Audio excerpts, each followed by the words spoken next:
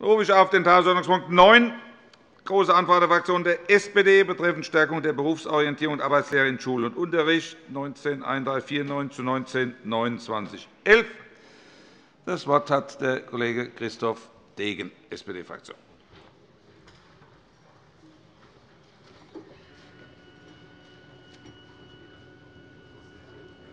Ja, Herr Präsident, meine sehr geehrten Damen und Herren! Ich will mich zunächst für die ausführliche Beantwortung der Großen Anfrage bedanken, Herr Minister, die sogar fristgerecht eingegangen ist. Ist ja keine Selbstverständlichkeit. Da darf man die Landesregierung auch einmal loben für, denke ich. Ja. Meine, meine Damen und Herren, ich glaube, 2011 war es, da habe ich an einer Lehrerfortbildung teilgenommen, äh, Sicherheit an Holzbearbeitungsmaschinen. Da war das Wesentliche, wir haben einen, einen kleinen Drachen aus Holz gebaut, etwa so groß aus drei Sorten Holz zusammengeleimt und ähm, sieht etwa so aus wie Grisou, der kleine Drache, kennen Sie wahrscheinlich. Ja? Damit Sie sich das vorstellen können, wie das aussieht, äh, ist am Ende, ist am Ende geworden ein Türstopper, um Türen offen zu halten. Nur damit Sie sich das vorstellen können, weil dieser kleine Drache steht im Grunde für das Fortbildungskonzept der Landesregierung für Arbeitslehre, meine Damen und Herren. Weil, weil entweder, entweder es gibt an Schulen keinen Arbeitslehreunterricht oder es gibt Arbeitslehreunterricht, aber der wird überwiegend fachfremd unterrichtet.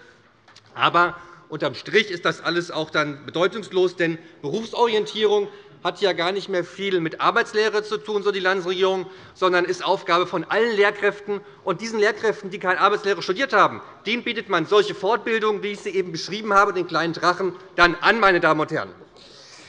Ja, die Antwort auf die Große Anfrage ist eben leider wieder ein Beispiel dafür, wie weit weg die Landesregierung von der Unterrichtswirklichkeit ist. Meine Damen und Herren. Das will ich Ihnen gerne darstellen. Vorher aber ein paar Bemerkungen zum Hintergrund der Großen Anfrage, weil ich vermute mal, nicht jeder von Ihnen hat sie ganz gelesen. Der Hintergrund ist, dass sowohl in der Allianz für Aus- und Weiterbildung als auch im ähm, fulminanten Bildungsgipfel eine große Einigkeit bestand, dass Berufsorientierung Aufgabe von allen Schulformen sein muss, gerade deshalb, weil durch doch einen zunehmenden Besuch von auch Gymnasien oder dem Weg zum Abitur, fast 50% machen das, dass das zwar gut ist, aber wir trotzdem auch den Abiturienten ja zeigen wollen, dass es Alternativen gibt. Nicht jeder, der Abitur macht, muss studieren. Meine Damen und Herren. Und gerade wir Sozialdemokraten halten ja nichts davon, schon in der vierten Klasse einzuteilen, ob jemand eben später eine Ausbildung macht oder studiert. Deswegen sollen alle Wege offen bleiben. Das ist eine gewisse Freiheit. Und so eine Freiheit äh, setzt auch voraus, dass man seine Alternativen kennt. Und deswegen auch am Gymnasium Berufsorientierung, meine Damen und Herren. Ja, und das war, wie gesagt, auch eigentlich einer der ganz großen Punkte. Es gab ja nicht so viele, wo man sich beim Bildungsgipfel einig war, dass das alle wollen. Aber, meine Damen und Herren, ich erinnere mich sehr gut, dass wir in diesem Zusammenhang darüber gesprochen haben, wie machen wir das denn? Entweder wir machen den Fach auch im Gymnasium wieder. Das war offenbar damals nicht die Mehrheitsmeinung. Oder aber man verankert das in Politik und Wirtschaft am Gymnasium. Ich hatte eigentlich immer in Erinnerung, dass wir gesagt haben, dann muss das aber auch mehr Stunden mit sich bringen in POVI, weil das kann man nicht noch on the top machen. Das war der Hintergrund für diese Große Anfrage, meine Damen und Herren, mal jetzt zu fragen, was macht die Landesregierung eigentlich daraus und auch diesem Teilergebnis des Bildungsgipfels. Heute, meine Damen und Herren, ist leider keine Rede mehr von mehr Stunden. Das ist eigentlich die erste große Enttäuschung auf diese Antwort der Großen Anfrage. Meine Damen und Herren. Man bezieht sich ausschließlich ausschließlich auf den Erlass zur Ausgestaltung der Berufs- und Studienorientierung aufpassen, vom 8. Juni 2015. 8. Juni 2015. Der Bildungsgipfel aber endete, Herr Minister, am 17. Juli 2015. Das heißt doch, entweder der ganze Gipfel war eine Farce, weil selbst im Bereich der Berufsorientierung vor schon längst feststand, wo die Reise hingeht, sodass man den Erlass äh, schon geschrieben hat bevor oder veröffentlicht hat, bevor der Gipfel fertig war. Oder aber Sie sind wieder einmal zurückgerudert, weil Ihnen hier äh, Ihre Mehrheit nicht Ihren Plänen gefolgt ist. Meine Damen und Herren. Konkret, konkret zu den Antworten. Viele machen ja auf den ersten Blick einen durchaus schlüssigen Eindruck, ähm, wenn man sich die Haupt- und Realschule anschaut. Denn da ja, gibt es sowohl in der ersten als auch zweiten Phase der Lehrerausbildung auch entsprechende Module. Das Fach Arbeitslehre wird auch angeboten.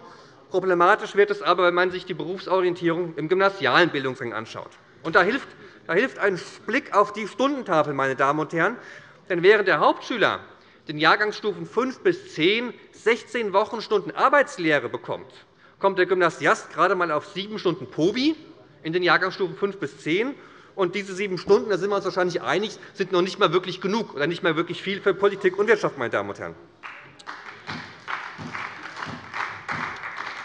Spricht man dann auch noch mit Lehrkräften aus der Praxis, dann ist die Antwort der Landesregierung ein Beispiel dafür, dass eben ja, die Ansichten der Landesregierung, der Erlass, nicht wirklich viel mit der Unterrichtswirklichkeit zu tun haben. Meine Damen und Herren. Viele Probleme wollen oder können Sie nicht mehr erkennen, weil Sie sich zu sehr in Statistiken und eben Erlassen verhängen und gar nicht wirklich wissen, wie das vor Ort umgesetzt wird. Um ein Beispiel zu nennen.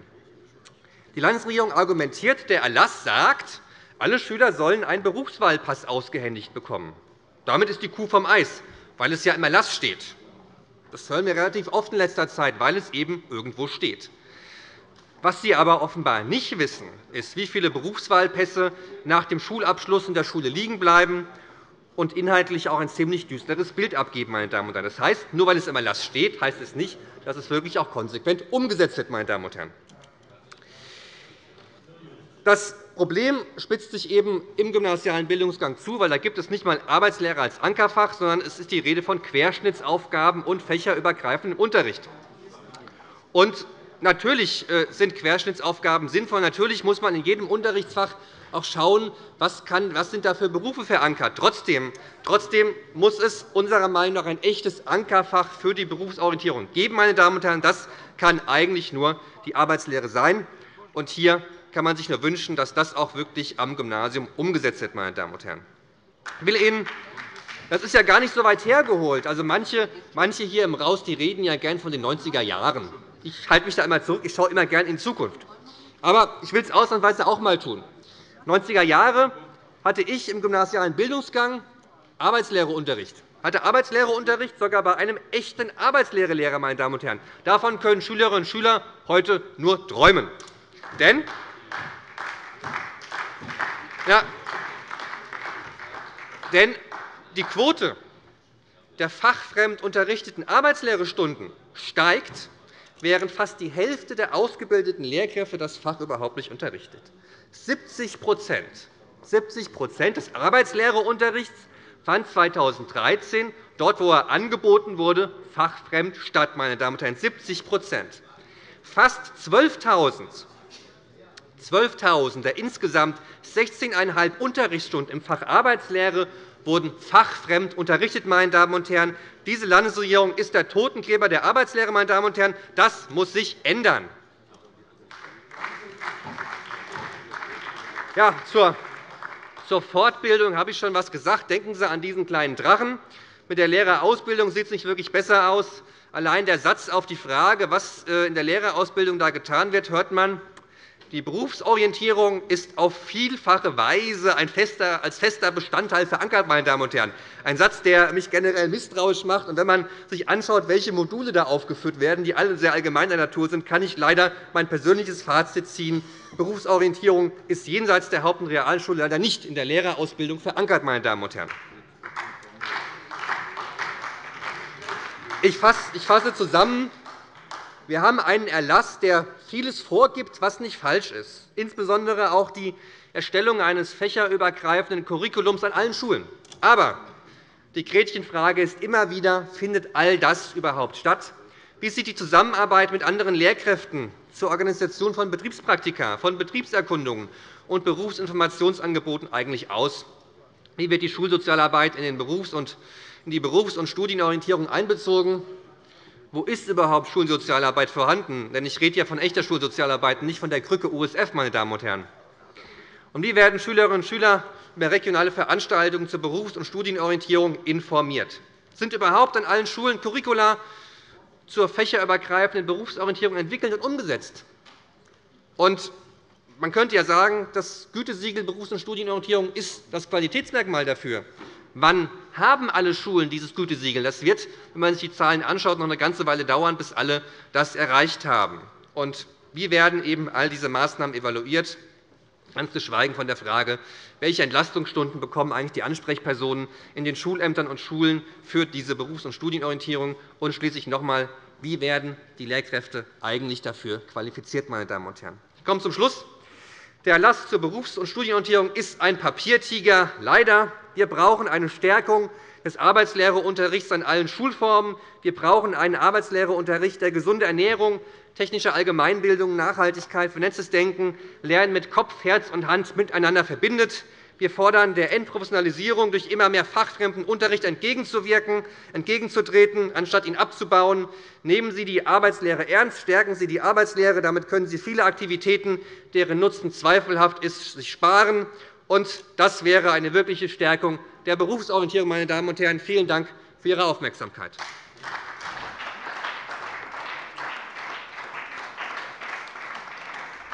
Vielen Dank, Kollege Degen. Das Wort hat die Frau Abg. Cárdenas, Fraktion DIE LINKE.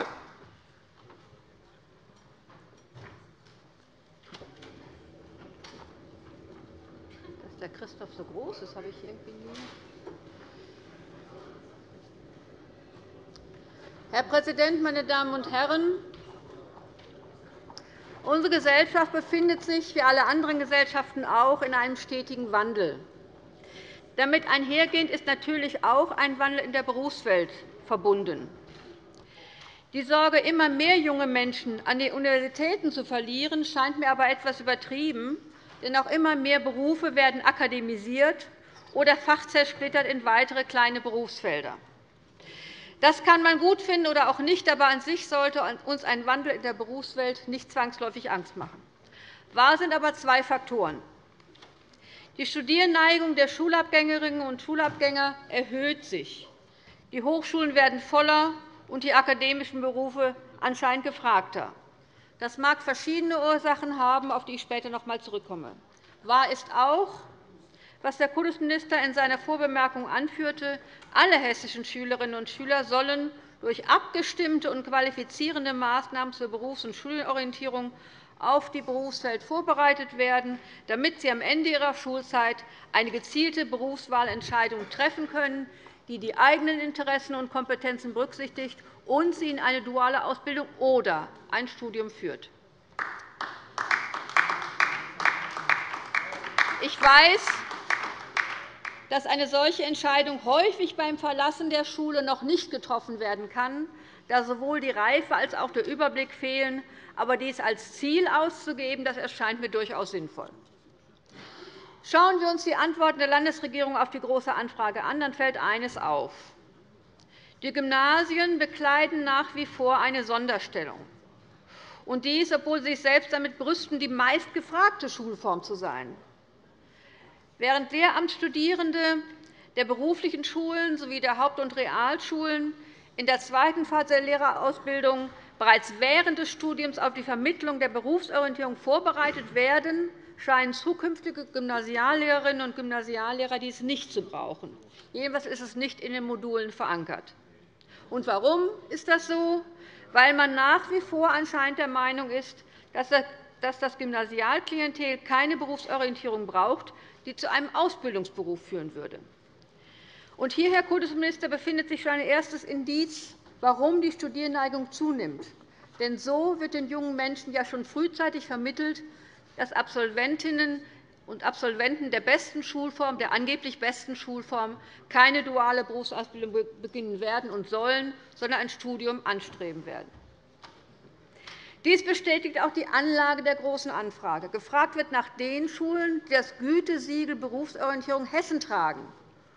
Unter den insgesamt 139 Schulen, die in Hessen Gütesiegelschulen Berufsorientierung sind, sind gerade einmal sieben Gymnasien in lediglich vier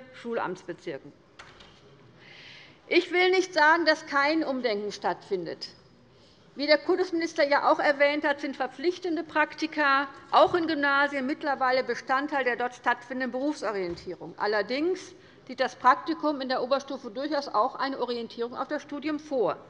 Das ist an sich natürlich sinnvoll, stärkt aber nicht unbedingt das Bemühen, beide Wege gleichwertig zu setzen, was wir für sinnvoll halten. Eingangs erwähnt habe ich, dass die erstarkte Studierneigung verschiedene Gründe hat. Einen habe ich eben aufgezählt, aber es gibt weitere. Beispielsweise zeigt uns die aktuelle OECD-Statistik, dass Akademikerinnen nur ca. halb so viel von Arbeitslosigkeit oder halb so stark von Arbeitslosigkeit betroffen sind wie die Absolventen dualer Ausbildungen. Ebenso zeigt die Statistik, dass das Einkommen von Akademikerinnen und Akademikern durchschnittlich höher liegt als das der Absolventen dualer Ausbildungen. Hier muss unseres Erachtens der Hebel dringend angesetzt werden, um die Attraktivität zu stärken. Sonst nützt auch die beste Berufsorientierung nichts. Und noch ein wichtiger Punkt kommt hier hinzu. Im letzten Jahr streikten die Beschäftigten im Sozial- und Erziehungsdienst. Wir alle erinnern uns an die mehrere Wochen lang geschlossenen Kindertagesstätten. Die Erzieherinnen und Erzieher streikten dort für bessere Arbeitsbedingungen und für mehr Anerkennung der wichtigen Arbeit, die sie leisten. Anerkennung in Form von besseren Eingruppierungen und somit auch in Form von mehr Geld. Also, solange die Eventmanagerin gesellschaftlich höher geschätzt und auch besser bezahlt wird als die Erzieherin, da haben wir ein Problem. Und das wirkt sich auch auf die Attraktivität der jeweiligen Berufe aus.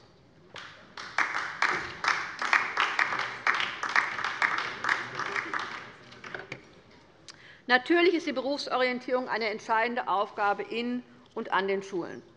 Dabei müssen regionale Besonderheiten ebenso berücksichtigt werden wie die individuellen Neigungen und Fähigkeiten der Schülerinnen und Schüler.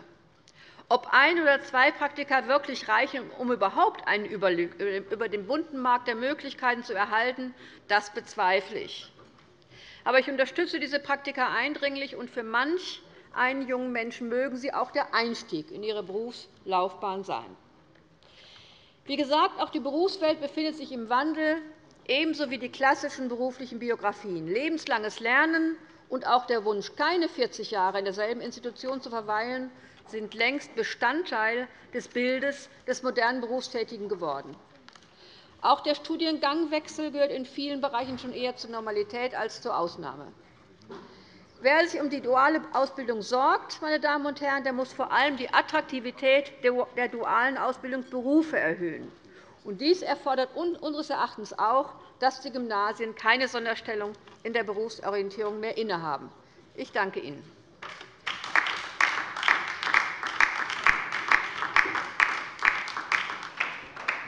Vielen Dank, Frau Kollegin Cárdenas. Das Wort hat der Kollege Hugo Klein, CDU-Fraktion.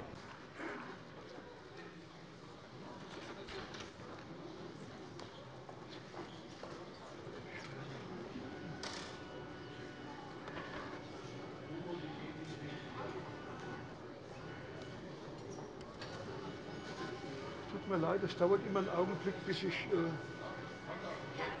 Hugo, lass der Zeit. Praxis jetzt? Ja, gut.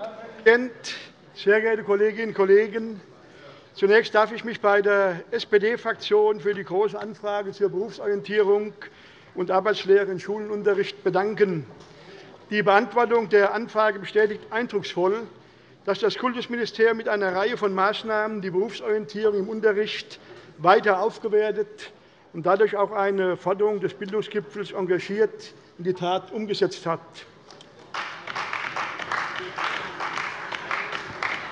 Zusammen mit den Anhängen dokumentiert dieses Papier den hohen Stellenwert, den die von CDU und BÜNDNIS 90 die GRÜNEN getragene Landesregierung der Berufsorientierung einräumt und wie diese innerhalb des Unterrichts und des Curriculums in den verschiedenen Schulformen ihre Umsetzung findet.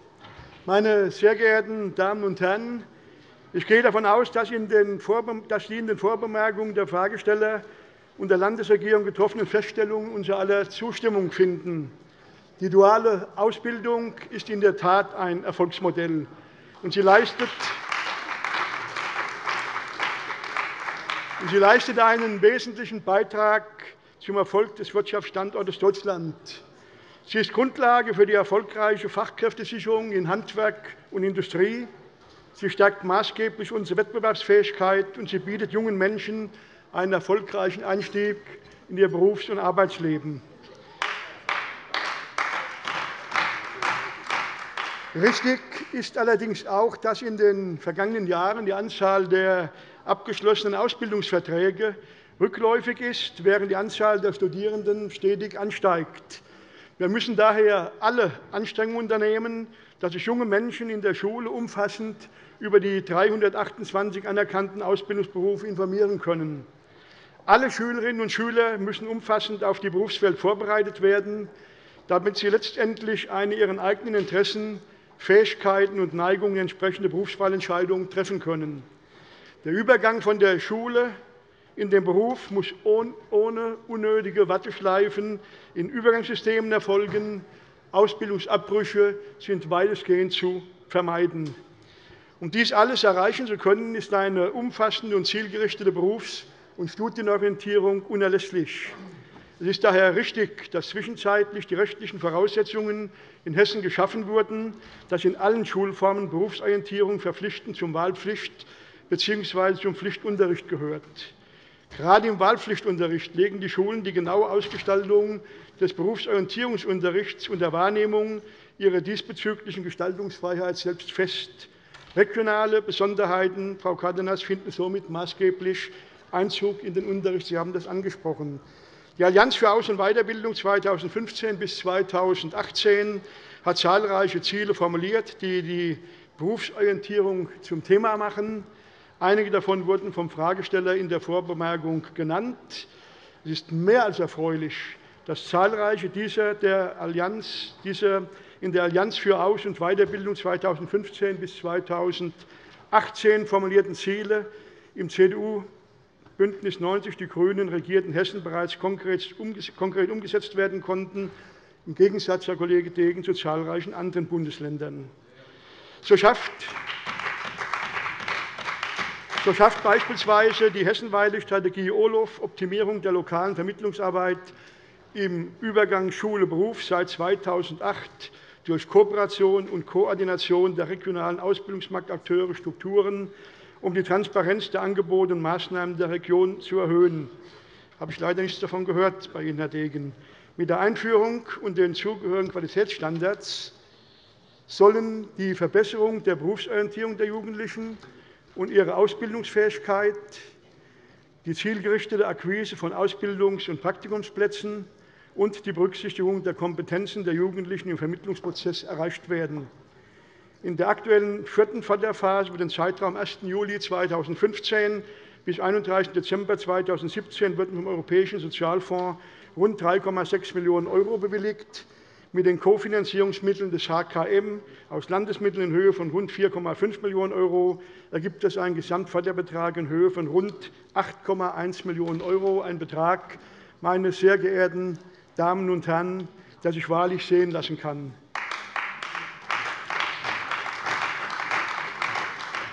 Wichtig ist es selbstverständlich auch, dass die, die Berufsorientierung im Unterricht vermitteln sollen, entsprechend ausgebildet sind.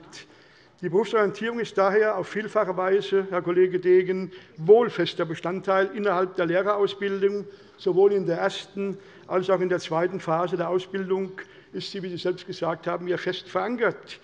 Dies erfolgt durch verschiedene Praktika und mehrere Module in der zweiten Phase, die von den Studierenden absolviert werden müssen. Ein weiterer Baustein, auch das haben Sie leider nicht aufgeführt, Herr Kollege Degen, ist das Gütesiegel Berufsorientierung Hessen das mit Beginn des Schuljahres 2010-2011 eingeführt wurde. Es fördert die Prozesse der Berufsorientierung von Schülerinnen und Schülern, die Kommunikation interner und externer Partner und den Wettbewerb von Ideen. Mit dem Gütesiegel werden Schulen ausgezeichnet, die ihren Schülern eine herausragende Berufs- und Studienorientierung anbieten. Zwischenzeitlich sind das 139 Schulen in Hessen, 139 Schulen, verehrte Kolleginnen und Kollegen, auf die wir sehr stolz sein können. Meine sehr geehrten Damen und Herren, lassen Sie mich abschließend noch folgende Feststellungen treffen. Im Rahmen des Bildungsgipfels war in der einschlägigen Arbeitsgruppe mit einmütiger Zustimmung sämtlicher Teilnehmer festgehalten worden, dass die Arbeitswelt- und Berufsorientierung als Querschnittsaufgabe aller Allgemeinbildungsgänge zu achten sei und ein professionelles Beratungs- und Begleitsystem von der Schulzeit bis zum Übergang in die berufliche Ausbildung benötigt werde. Diesem Ziel dient unter anderem der im vergangenen Jahr veröffentlichte Erlass zur Ausgestaltung der Berufs- und Studienordnung, der die bisherigen Regelungen zur Berufsorientierung für alle Schulformen und Bildungsgänge zusammenführt und dabei auch den gymnasialen Bildungsgang einbezieht. Infolgedessen sind alle allgemeinbildenden Schulen zur Erstellung eines fächerübergreifenden Curriculums zur Berufs- und Studienorientierung verpflichtet. Auch die Kooperation mit der Berufsberatung und außerschulischen Partnern, das Ableisten von zwei Betriebspraktika oder der Einsatz des Berufswahlpasses sind darin als verbindliche Anforderungen definiert, Herr Kollege Degen.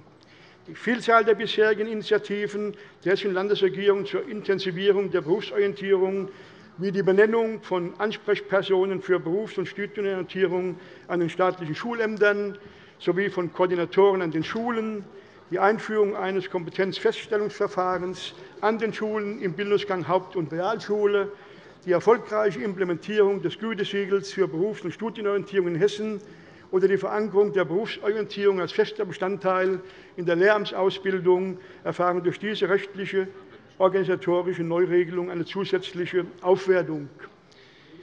Meine sehr geehrten Kolleginnen und Kollegen, Schüler werden dadurch im Ergebnis zu einer fundierten Entscheidung befähigt, ob der Weg in eine Ausbildung oder ein Studium die jeweils zielführende Alternative darstellt. Meine sehr geehrten Damen und Herren, erlauben Sie mir noch auf einige Ausführungen meines Vorredners, des Kollegen Degen, einzugehen. Ich mache das einmal ein bisschen vorsichtiger jetzt, da wir ja meinen Kinzigkreis wieder Freunde werden wollen. Aus dem Grund äh, muss ich meine Worte etwas äh, wählen, jetzt, Herr Kollege Degen. Ja, Sie haben mich mit Ihrer Rede nicht enttäuscht. Sie haben eine typisch parteipolitisch orientierte Rede gehalten. Sie mussten natürlich aufgrund als Ergebnis der Großen Anfrage mussten Sie natürlich Kritik üben, dass dies oder jenes noch gar nicht, dies oder jenes nur halbherzig oder dies oder jenes äh, unmotiviert durchgeführt wird. Sie wissen natürlich, da Sie sich auch die Große Anfrage dezidiert angeguckt haben. Sie haben sich die Anhänge angeguckt. Sie haben natürlich die von mir aufgeführten Vorteile, die ich genannt habe, ja auch gelesen. Und äh, all diese Dinge, da muss man ein bisschen aufpassen, Herr Kollege Degen. Sie haben ähm, Ihr Beispiel erzählt, was Sie in der Fortbildung gemacht haben, ist meine Kollegin Claudia Ramsburgner da. Da hatte ich eigentlich versprochen, mein Lieblingsbeispiel vom Basketballkorb zu erzählen. Da muss ich das, da es abwesend ist, auf die nächste Rede verschieben. Ähm, ja, Sie müssen nur aufpassen. In dem Moment, wenn Sie einen Kollegen kritisieren, und erlauben Sie mir, da ein bisschen meine Erfahrung einzubringen aus 24 Jahren Berufsschullehrertätigkeit. Ein Kollege, der vielleicht fachfremd in Berufsorientierungsmaßnahmen eingesetzt ist, der kann wertvoller sein als zehn Kollegen, die Arbeitslehre mit Summa Cum Laude abgeschlossen haben, weil er mit Herzblut nämlich arbeitet. Was die jungen Menschen brauchen in der Schule, das sind Lehrer, Lehrkräfte, Lehrerinnen und Lehrer, die mit Herzblut sich ihre annehmen. Da ist, das weniger, das ist das weniger Entscheidende, ob die jetzt äh, einen Abschluss haben als Arbeitslehrer Lehrer, oder ob sie einen Abschluss haben als Deutsch- oder Politiklehrer. Die Hauptsache ist, sie müssen mit Herzblut in den jungen Menschen arbeiten. Und wenn wir das stark kritisieren, müssen wir immer ein bisschen aufpassen, dass wir nicht auch die Kollegen kritisieren, die mit Herzblut so etwas machen. Und Sie kennen ja, wie ich auch, die Philipp-Reis-Schule in Genhausen. Gehen Sie mal wieder hin. Reden Sie mit den Kollegen, die dort fachfremd unterrichten, mit wie viel Herzblut dort Berufsorientierung betrieben wird, wie erfolgreich die Schule ist. Ich denke, da sind wir wieder ganz nah zusammen. Und der Freundschaft in meinem Kinzigkreis wird nichts entgegen. Vielen Dank.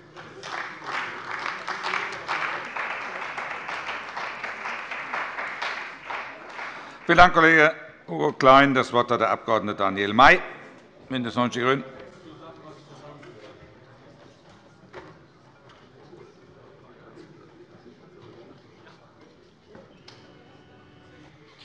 Ja, sehr geehrter Herr Präsident, sehr geehrte Damen und Herren! Der Kollege Degen hat in der Tat ähm, am Anfang seiner Rede die Landesregierung dafür gelobt, dass sie so schnell geantwortet hat, hat aber leider unberechtigterweise ähm, diesem Lob der Schnelligkeit kein Lob des Inhaltes äh, folgen lassen.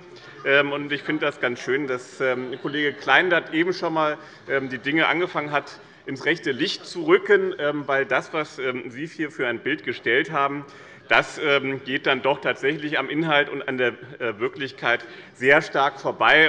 Ähm, ich möchte meinen Teil dazu beitragen, Ihnen auch jetzt noch einmal deutlich zu machen, was Ihnen eigentlich auch anhand der Antwort der Landesregierung hätte deutlich werden müssen, dass die Berufsorientierung ähm, für diese Landesregierung eine ganz herausgehobene Stellung hat.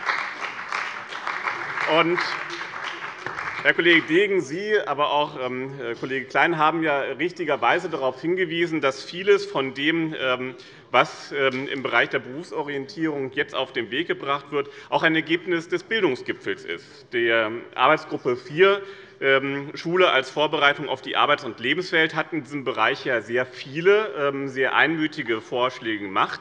Ich bedanke mich an dieser Stelle noch einmal bei all denjenigen, die daran mitgearbeitet haben, dass diese Arbeitsgruppe und der Bildungsgipfel insgesamt so viele Vorschläge gemacht hat. Und vieles von dem, was eben in dieser Arbeitsgruppe erarbeitet wurde, wird jetzt in die Wirklichkeit umgesetzt.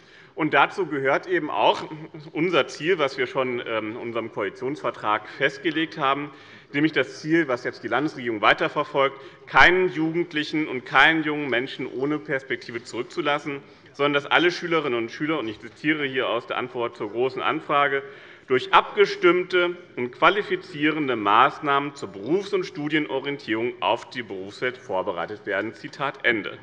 Und dieses Ziel hatte auch der Bildungsgipfel dann eben unter Mitwirkung zahlreicher gesellschaftlicher Akteure formuliert und zahlreiche Maßnahmen, von denen die Dinge, die unter Berufsorientierung zu fassen sind, einen Teil ausmachen. Aber die große Anzeige zeigt eben, dass dieser eine Teil wiederum mit einem ganzen Fächer von Impulsen von der Landesregierung vorangebracht wird.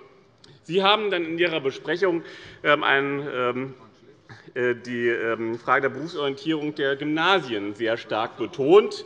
Ähm, Sie haben da ähm, äh, auch bei dem, was Sie äh, abgefragt haben, viel Wert darauf gelegt. auch in diesem Bereich hat der Bildungsgipfel sage ich mal, Ergebnisse gezeitigt, die jetzt in die Praxis umgesetzt würden. Wenn man das nämlich sich da einmal anschaut, was die Arbeitsgruppe 4 zu Papier gebracht hat, möchte ich zitieren.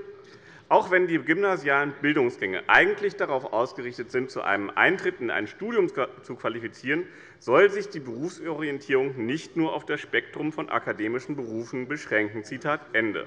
Die große Anfrage, die Sie gestellt haben, zeigt nun sehr gut, dass diese Ideen nicht verloren gegangen sind, sondern dass sie in Realpolitik umgesetzt wurden und dass sie angepackt wurden. Es zeigt sich an dem Erlass, den Sie auch schon zitiert haben. Schon gleich beim Titel müsste Ihnen klar werden, dass dort bei diesem Erlass, der nun das Fundament für die Arbeit dort setzt, ähm, dass sich dort einiges verändert hat. Denn wenn vorher von diesem Erlass die ähm, schon im Titel die Gesamtschulen und Gymnasien nicht erfasst worden sind, so heißt er nun heute, ähm, dass er die Ausgestaltung der Berufs- und Studienorientierung in Schulen regelt, also in allen Schulen regelt. Das zeigt doch sehr deutlich, dass dieser Anspruch, den der Bildungsgipfel hier formuliert hat, auch umgesetzt wird.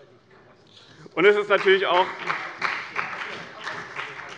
zu begrüßen, dass ähm, ähm, da viele weitere Maßnahmen von der Landesregierung aufgenommen wurden. Ich habe eben gerade einmal, ähm, nachdem Sie gesagt haben, na ja, das ist ja quasi im Gymnasium war ich angekommen, habe ich noch einmal gezählt. Ich bin leider nicht ganz zum Ende gekommen, weil ähm, das mit dem Multitasking bei mir nicht so ausgeprägt ist. Aber in welchen ähm, Fragen denn überall soll ich mal, Bezug genommen wird auf die Berufsorientierung an Gymnasien? Ich kam jetzt auf die 12, die 18, die 19, die 21, die 23, die 27, die 28, die 30 und die 31. Und da bin ich dann leider nicht weitergekommen. Also, es zeigt schon sehr deutlich, dass äh, an dieser Stelle viel unternommen wird und dass das auch in der Großen Anfrage deutlich geworden ist. Ich möchte Ihnen sagen wir nur eins äh, dann beispielhaft zitieren, sozusagen die Zusatzzahl, die 28, wo Sie das ja auch explizit abgefragt haben. Und da heißt es dann auch, es gibt an allen allgemeinbildenden Schulen eine Koordinatorin für Berufs- und Studienorientierung. Und später, in diesem Gesamtprozess sind auf der Grundlage des vorgenannten Erlasses auch die Gymnasien einbezogen. Und weiter. Bei dem Auf- und Ausbau ihrer schulspezifischen Konzepts zur Studien- und Berufsorientierung. Für uns ist nämlich klar, akademische Bildung und berufliche Bildung sind für uns gleichwertig. Von daher ist für uns klar, dass die Berufsorientierung an allen Schulformen stattfinden muss. Das haben Sie kritisiert, na ja, wer, ähm, äh, was in Erlassen steht, wer weiß denn, ob das umgesetzt wird? Da müssten Sie mir dann schon einmal erklären, wie Sie denn beabsichtigen würden, äh, wenn Sie Kultusminister wären, hier Schulpolitik zu machen. Würden Sie dann ähm, sozusagen an jede Schule einzeln gehen? Ich für meinen Teil habe großes, großes Vertrauen. Ich habe großes Vertrauen. Ich habe großes Vertrauen darauf, dass unsere Schulen mit dem, was die Landesregierung entwickelt, das auch in die Tat umsetzt. Wir haben Vertrauen in unsere Lehrerschaft. Wenn Sie das nicht haben, müssen Sie das mit den Lehrerinnen und Lehrern ausmachen. Und ein großer Teil Ihrer Rede ist ja auch an dem Thema der Arbeitslehre an Gymnasien aufgehängt worden. Was ich auch ähm, verstehen kann, ist ja historisch, haben Sie das auch hergeleitet, dass es früher einmal eine Landesregierung gab, die die Arbeitslehre an Gymnasien eingeführt hat um die Berufsorientierung dort zu verankern. Ja, das bestreite ich ja auch gar nicht, Herr Kollege Gremmels. Ich wäre da schon noch von selber drauf gekommen. Die Frage ist, die Frage ist ob man sozusagen ein Ziel, nämlich Berufsorientierung am Gymnasium zu verankern, nur auf diese eine Art und Weise ähm, erreichen kann. Und da würde ich sagen, ist doch diese Große Anfrage ähm, geradezu das deutlichste Beweis dafür, dass es eben mehrere Wege zum Ziel gibt und dass eben der Weg, den wir jetzt gegangen sind, das teilweise beim ähm, äh, Fach Politik und Wirtschaft ähm, äh, einzuführen, aber vor allen Dingen, das finde ich viel wichtiger, dass das als Querschnittsthema wahrgenommen wird, dass nicht nur gesagt wird, Berufsorientierung das findet in einem Fach statt, sondern dass das in allen Fächern stattfinden muss. Also, ich finde, das ist der bessere Weg, und ich hoffe mir davon wesentlich mehr. Und von daher, ähm, dass irgendwie die äh, Berufsorientierung Querschnittsthema ist, sollte uns doch dann eher ähm, äh, als ermunterndes, als ermunterndes Signal nehmen, dass das auch dann in der Praxis tatsächlich auch bei allen Schülerinnen und Schülern ankommt. Und ich will, und wir ähm, haben ja auch ähm, sag ich mal, ähm, der Arbeitslehre auch ein großes Gewicht gegeben. Also, es ist ja nicht so, dass die Arbeitslehre als Fach von uns, wie Sie das gesagt haben, dass wir Totengräber der Arbeitslehre wären. Das äh, würde ich einmal entschieden zurückweisen, sondern auch in diesem Bereich äh, setzen wir Ergebnisse des äh, Bildungsgipfels um, der ja dort auch in der Gruppe 4 gefordert hat, Erhalt des Faches Arbeitslehre und Stärkung der Lehrkräfte Bildung im Fach Arbeitslehre. Und da weise ich nur einmal auf die Frage 54 hin, und möchte da das unterstreichen und ähm, äh, noch einmal stark machen, was das Kultusministerium dort sagt, nämlich dass das Kultusministerium sehr wohl mit den Universitäten Verhandlungen aufnehmen möchte, die Arbeitslehre auch in Forschung und Lehre dauerhaft zu sichern. Ich halte es nämlich für unabdingbar, dass die Landesregierung dafür sorgt, dass die Ausbildung von Lehrerinnen und Lehrern im Bereich der Arbeitslehre dauerhaft ähm, an den hessischen Universitäten äh, gewährleistet wird. Genauso wichtig ist es natürlich auch, ähm, gerade weil wir akademische und berufliche Bildung ähm, für gleichwertig halten, dass die äh, Berufsorientierung bei der Ausbildung von Lehrerinnen und Lehrern aller Schulformen ein hohes Gewicht erhält. Auch dort äh, sehe ich weniger Trennendes als Einendes zwischen unseren äh, Fraktionen. Und auch das übrigens ein Beispiel für ein Ergebnis, das der Bildungsgipfel erarbeitet hat. Der Bildungsgipfel, den Sie ja leider ähm, mit fadenscheinigen Gründen trotz der vielen äh, guten Ergebnisse verlassen haben, ähm, zeigt mal wieder, dass dieser Bildungsgipfel ähm, sehr erfolgreich war und dass seine Ergebnisse hier in Realpolitik umgesetzt werden.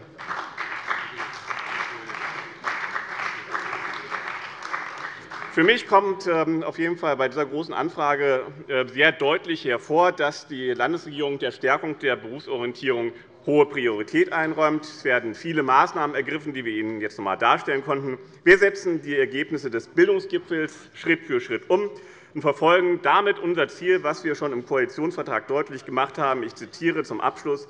Wir wollen möglichst keine Schülerinnen und Schüler ohne Abschluss zurücklassen. Vielen Dank.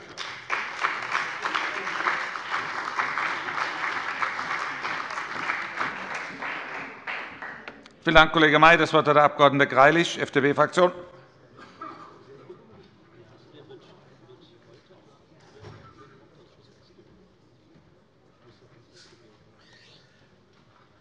Herr Präsident, meine sehr verehrten Damen und Herren!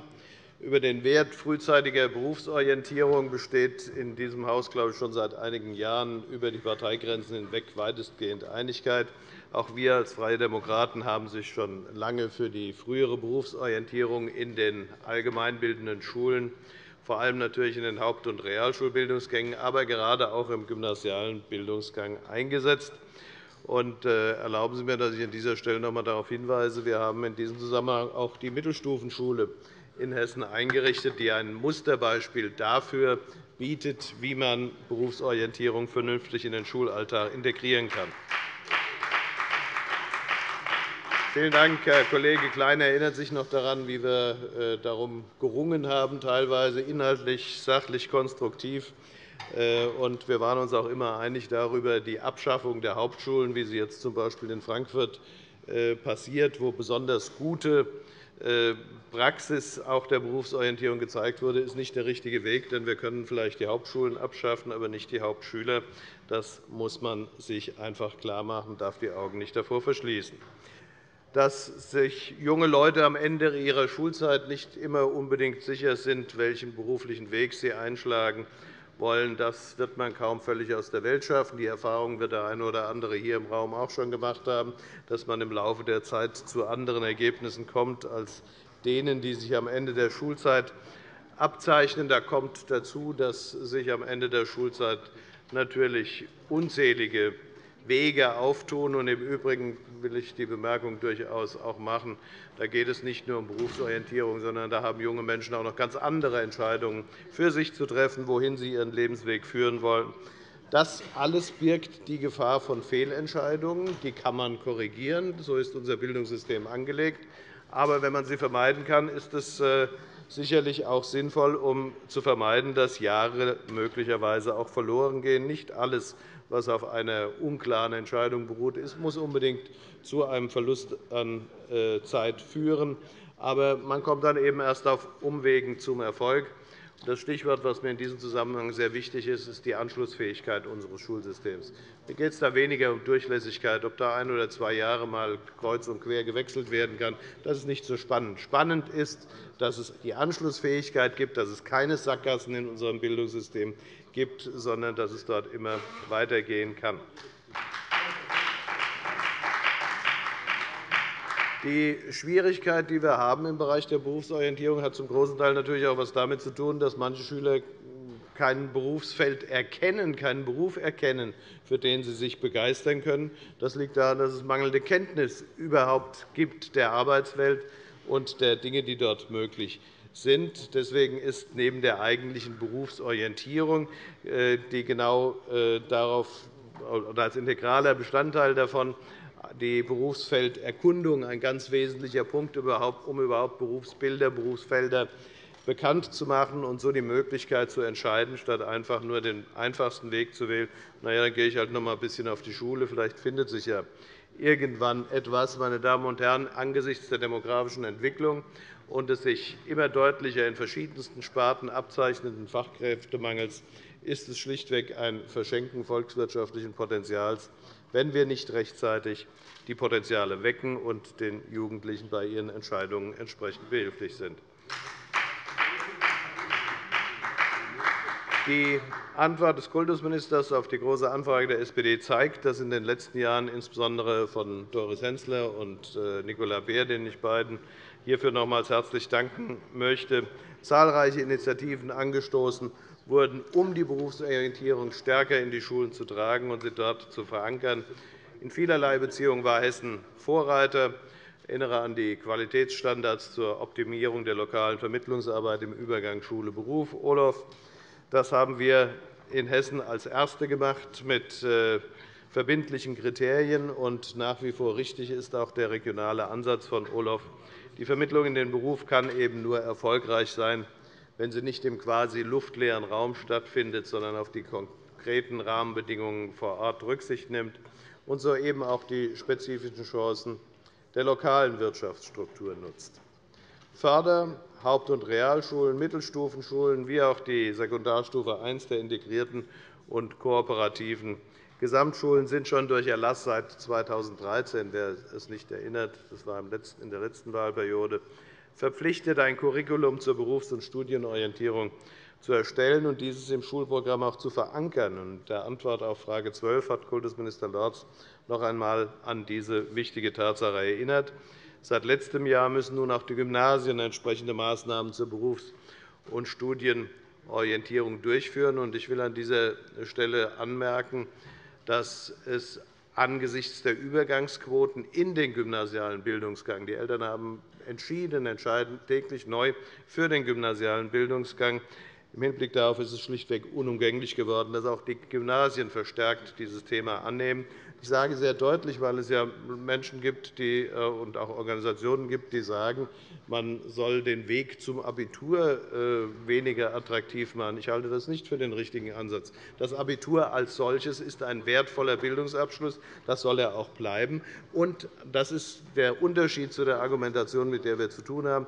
Ich sage, das Abitur darf nicht einseitig darauf ausgerichtet sein, nur als Weg in das Studium, sondern es muss möglich sein, mit dem wertvollen Schulabschluss Abitur dann auch andere befriedigende Bildungs- und Berufswege zu finden. Meine sehr geehrten Damen und Herren, es wäre niemand damit gedient, wenn die Maßnahmen zur Berufsorientierung dabei die zwingend unterschiedlichen Ziele der unterschiedlichen Bildungsgänge völlig ausblenden würden, außer Acht lassen würden.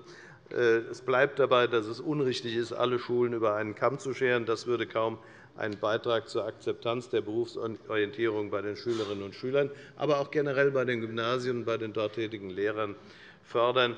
Deswegen muss man dort sehr sorgfältig arbeiten, sehr äh, bewusst darauf abstellen, was geht und was nicht geht.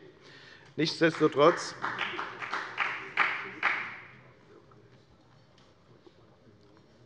Nichtsdestotrotz müssen wir in dem, was wir im Bereich der Berufsorientierung tun, deutlich noch erfolgreicher werden.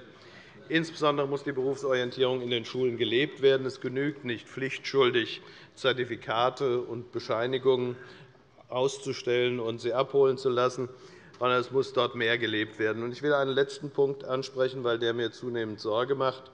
Äh, der spielte in der Antwort des Kultusministers auf die Große Anfrage soweit ich das gelesen habe, keine entscheidende oder keine wesentliche Rolle. Ich sage sehr deutlich, das Hessische Kultusministerium hat in der Vergangenheit bis zum Jahre 2014, noch im Januar 2014, danach verlor es sich, sehr positiv gearbeitet in dem Bereich Förderung der Orientierung an der Wirtschaftswelt, auch an der Frage, wie kann man selbstständig arbeiten, welche Möglichkeiten gibt es der Gründung.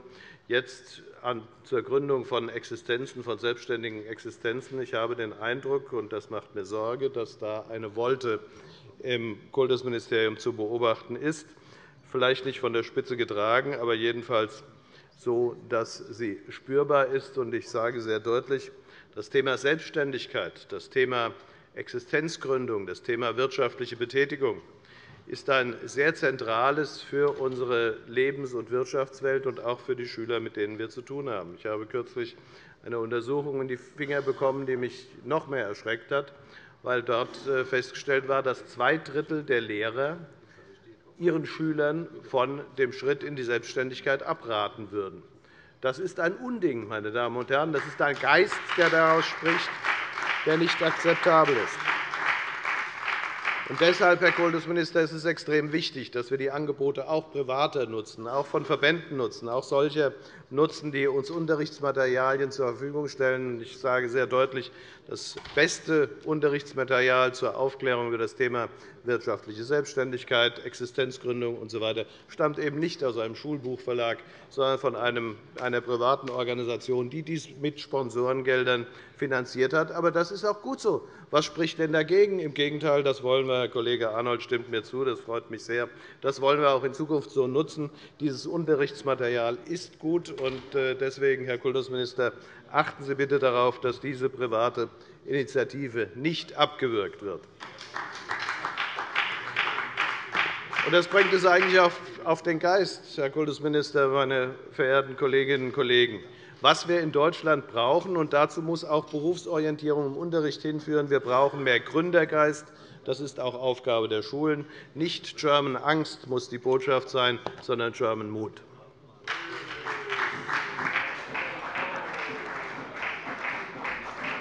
Vielen Dank, Kollege Greilich. Das Wort hat der Kultusminister, Staatsminister Lorz. Bitte.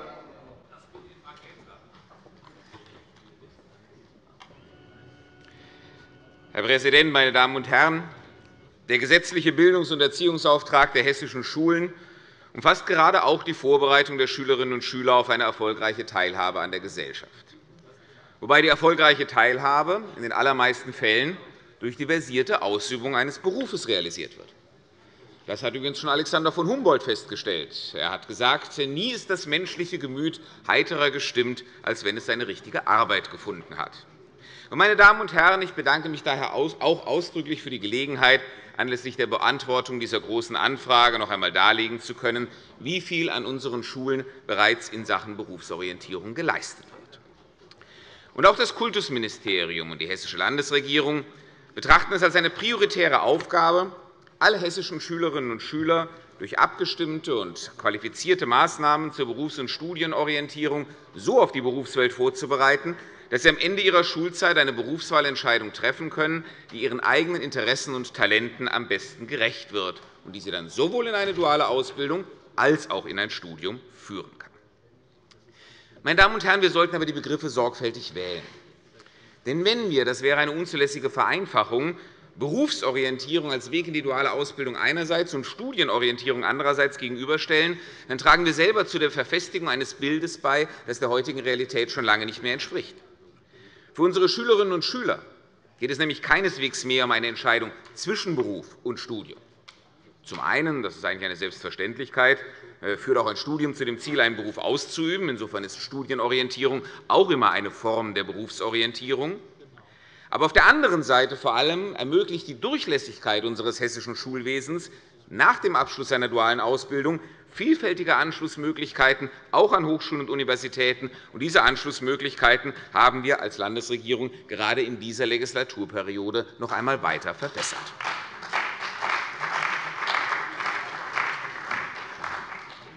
Deswegen ist auch völlig richtig, was hier gesagt wurde, dem kann ich mich nur anschließen, dass es gibt keinen notwendigen Zusammenhang äh, zwischen Abitur und Studium. Das Abitur gibt die direkte Möglichkeit, äh, zu studieren, aber es kann genauso gut auch in eine duale Ausbildung führen. Es kann über eine duale Ausbildung in ein Studium führen. Äh, es gibt eben eine Vielfalt von Wegen, so wie es auch eine Vielfalt von individuellen Fähigkeiten und Talenten in dieser Gesellschaft gibt. Meine Damen und Herren.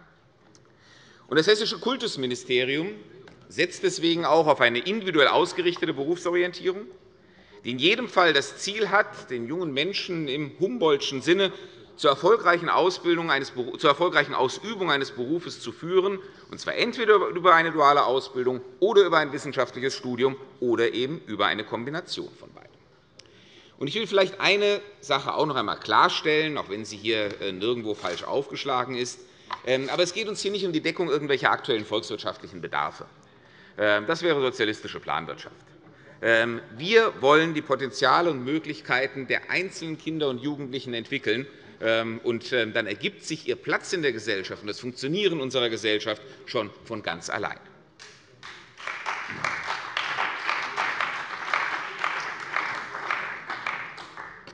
Meine Damen und Herren, lassen Sie mich die Gelegenheit nutzen, in diesem Zusammenhang auch gleich noch ein anderes Missverständnis auszuräumen. Berufsorientierung ist nämlich ausdrücklich nicht Berufsberatung im Sinne einer Art von Berufskunde. Das wäre auch völlig aussichtslos.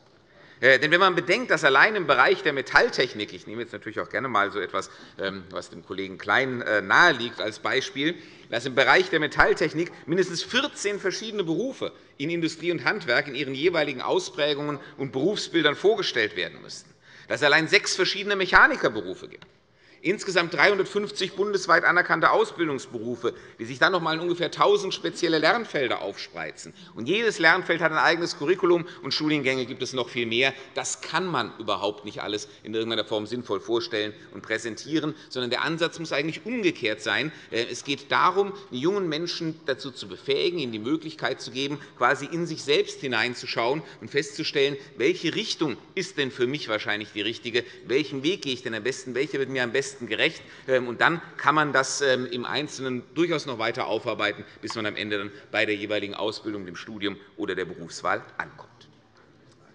Meine Damen und Herren, Berufs- und Studienorientierung in der Schule bedeutet daher neben der Übermittlung fachlicher und überfachlicher Kompetenzen vor allem die Verdeutlichung, dass die in der Schule erworbenen Kompetenzen bestimmten Berufsbildern korrespondieren und dass die Schulfächer daher kein Selbstzweck sind, weil sich das Berufsleben nun einmal auch nicht nach Unterrichtsfächern ordnet. Es gibt keinen Beruf Englisch oder Geschichte. Ähm, aber es gibt natürlich eine ganze Menge an Berufsbildern, äh, die sich mit dem einen oder anderen Fächerprofil äh, enger oder weiter verbinden.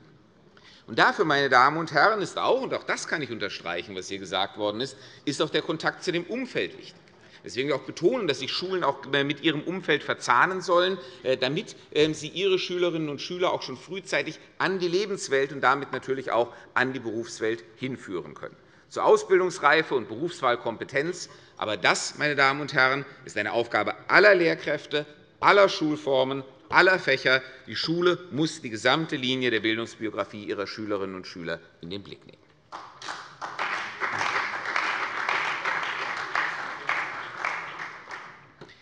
Auf dieser Grundlage ist das Kultusministerium auch die Umsetzung der Forderungen der Allianz für Aus- und Weiterbildung 2015 bis 2018 engagiert angegangen.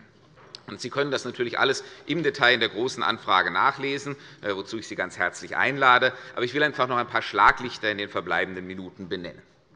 Ich nenne, was schon gesagt worden ist, die Zusammenarbeit in den hessischen Regionen im Zuge der Olof-Strategie, die mittlerweile zum Vorbild für andere Bundesländer geworden ist. Das darf man ja auch einmal sagen.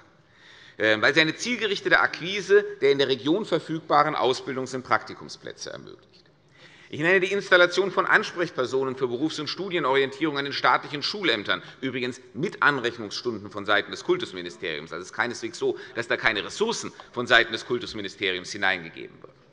Die Installation von Koordinatorinnen für Berufs- und Studienorientierung an den Schulen.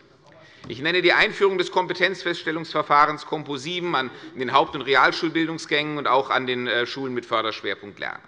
Ich nenne die Implementierung des Gütesiegels zur Berufs- und Studienorientierung. Ich nenne die Schaffung eines fächerübergreifenden verpflichtenden Curriculums zur Berufs- und Studienorientierung. Ich nenne den Abschluss einer Vereinbarung zur Berufs- und Studienorientierung mit der Regionaldirektion Hessen der Bundesagentur für Arbeit zur Schaffung einheitlicher Standards für die Zusammenarbeit zwischen Schule und Berufsberatung. Und ja, natürlich nenne ich auch den neuen Erlass zur Berufs- und Studienorientierung vom Juni 2015, der hier schon mehrfach Gegenstand war. Und da lassen Sie mich, ähm, Herr Abg. Degen, ähm, vielleicht drei Punkte dann doch aus Ihren Bemerkungen zu diesem Erlass kurz aufgreifen. Erstens. Ähm, dieser Erlass, und das ist eine der wesentlichen Neuerungen, dass er tatsächlich den gymnasialen Bildungsgang sozusagen gleichberechtigt einbezieht in die Berufs- und Studienorientierung, wie vorher schon die Haupt- und Realschulbildungsgänge. Es war auch kein Versäumnis, dass das erst dann geschehen ist, ähm, sondern äh, wir haben uns sozusagen in die Berufs- und Studienorientierung hineingearbeitet, erst einmal natürlich ähm, eben über die Haupt- und Realschulbildungsgänge, aber immer auch schon mit der Zielvorstellung, dass der gymnasiale Bildungsgang dazukommen sollte. Und das ist jetzt der Fall. Das Gleiche gilt auch für das Gütesiegel Berufs- und Studienorientierung. Aber deswegen ist es natürlich auch klar, ähm, dass die Gymnasien rein zahlenmäßig im Moment noch etwas hinterherliegen, weil sie auch zeitlich hinterherliegen. Aber wir haben das jetzt alles gemeinsam auf die Schiene gesetzt. und Deswegen äh, wird auch die Zahl sowohl beim Gütesiegel ähm, als auch ähm, ansonsten bei der Umsetzung dieses Erlasses die Zahl der Gymnasien und der Schulen mit gymnasialem Bildungsgang, die dort tätig werden, zunehmen. Zweitens. Sie haben angesprochen, der Erlass ist vom Juni 2015. Da waren wir in der Tat noch im Bildungsgipfel drin. Aber das war nicht der Versuch, irgendwie den Bildungsgipfel zu präjudizieren, sondern es wurde ja im Bildungsgipfel die Vereinbarung explizit getroffen, dass man gesagt hat, das muss eigentlich noch deutlicher verankert werden. Das braucht eine Basis im Schulgesetz, das soll in einer Verordnung eingearbeitet werden. Aber wir wissen alle, dass das ein, zwei Jahre dauert, bis man ein Gesetzgebungsverfahren durch hat, bis die Verordnung erarbeitet worden ist. Deswegen wurde auch im Bildungsgipfel gesagt, jawohl, dann macht erst einmal einen Erlass. Das bringt uns auf jeden Fall schon einmal weiter. Verliert aber nicht aus dem Blick, und wir werden es nicht aus dem Blick verlieren, dass wir das auch noch gesetz- und verordnungstechnisch verankern und bei dieser Gelegenheit natürlich auch noch weiter ausdifferenzieren und ausbauen werden. Und drittens. Ähm, Sie haben angesprochen, dass das Fach Politik und Wirtschaft, das ja neben Arbeitslehre das Ankerfach für Berufs- und Studienorientierung ist, ähm, dass das ähm, weniger Stunden hat als die Arbeitslehre. Das ist richtig in der Sekundarstufe I.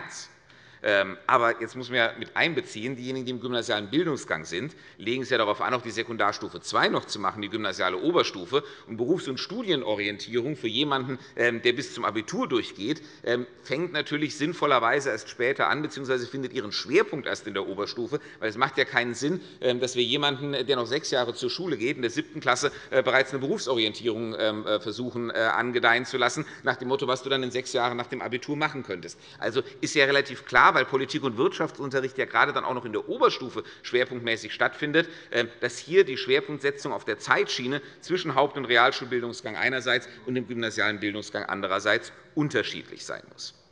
Ich sehe, ähm, Herr Präsident, ähm, äh, meine Zeit ähm, geht zu Ende. Ich will daher auch nur noch ganz kurz meine Redezeit, ich weiß, das, das, Späßchen haben wir in diesem Pult das Späßchen haben wir an diesem Pult ja häufiger. Ähm, äh,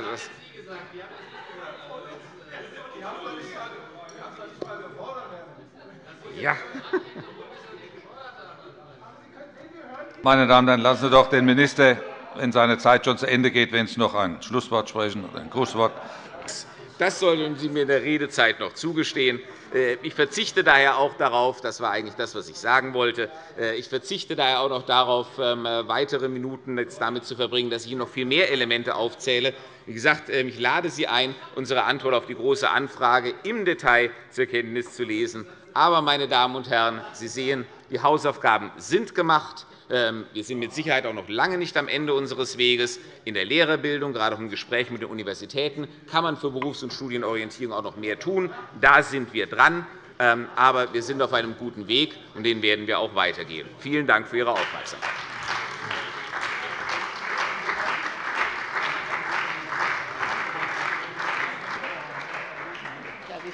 Meine sehr verehrten Damen und Herren, vielen Dank. Wir sind äh, am Ende der Aussprache. Ich begrüße auf der Besuchertribüne den Generalkonsul der Republik Kroatien, Wladimir Duvnjak. Exzellenz, seien Sie uns herzlich willkommen im Hohen Hause.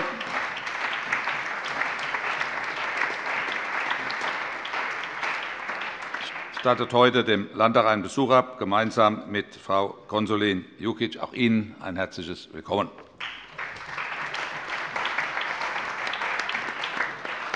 So, jetzt können wir Ihnen gar nicht mehr viel bieten, äh, denn wir sind am Ende der Aussprache zur Großen äh, Anfrage. Äh, dann wären wir auch am Ende der Beratung für den Vormittag. Ich darf mich bei Ihnen ganz herzlich bedanken. Und wir werden um 15 Uhr, das war der Wunsch aller, die guten Willens sind, hier um 15 Uhr weitermachen. Deshalb schließe ich jetzt die Vormittagssitzung und wünsche alles Gute. Insbesondere Ihnen wünsche ich alles Gute.